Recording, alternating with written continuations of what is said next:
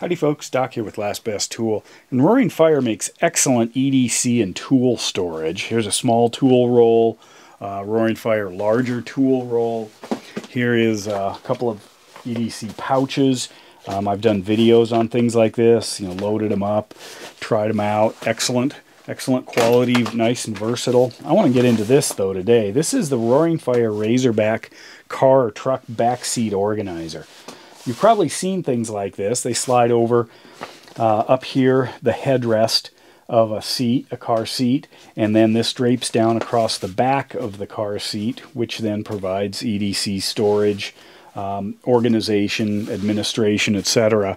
Um, down the back of it. If you put it on the passenger side, generally it's also accessible to the driver because you can reach around easily behind the passenger seat.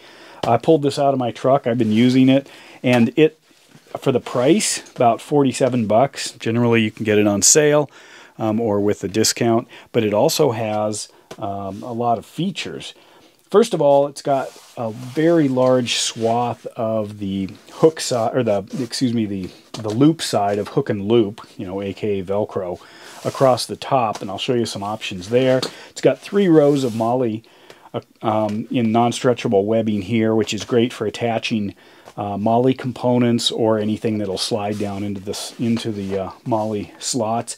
Down here it's got three elastic uh, ladders running across horizontally and one vertically. And then inside here is access to the interior and this entire thing from top to bottom is a giant bag. So whatever you want to put up inside here, um, you can right through this access point. Um, it's made of a, feels like a heavier Cordura material. It's got a stiffener in it so it maintains its shape.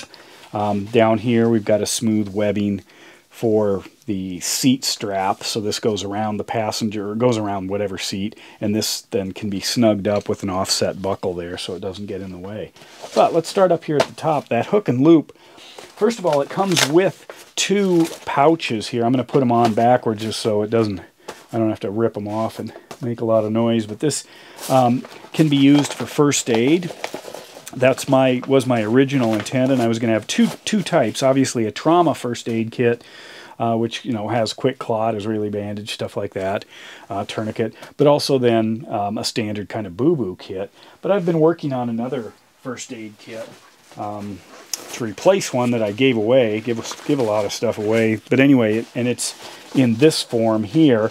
Again, a tear off, so once that's on there, you can just rip it off and go. Um, I had another one full, um, uh, full of basic first aid stuff, and somebody needed it, so gave it to them because I enjoy building these kits out. Um, so I've gone to my old first aid kit as I upgrade this. Um, another thing, there are lots and lots of uh, different kinds of um, kind of these. This is the this is the hook side of the hook and loop um, that I could easily drop on there.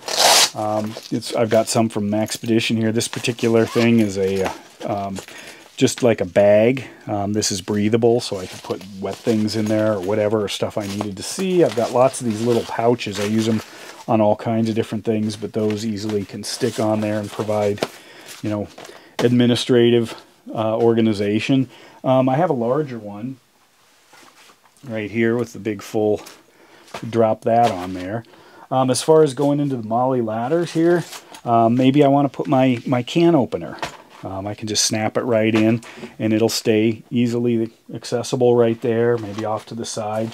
I've got lots of uh, different kinds of pouches that have the kind of the quick snap for MOLLE. Those easily slide right down there. I can pull them off easily if I need to.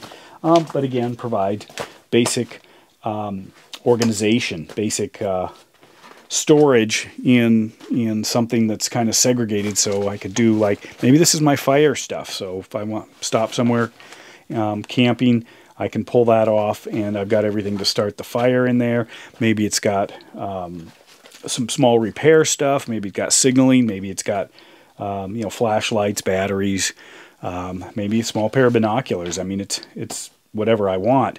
Um, and of course, I can swap these around, you know, depending on my trip.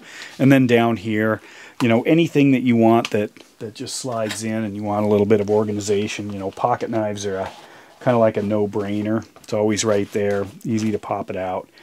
So this organizer, um, as I think I mentioned, was is about 47 bucks, um, which as far as organizers go, it comes in as a good price for a quality organizer. Some are a lot more expensive, some are a lot less feature filled.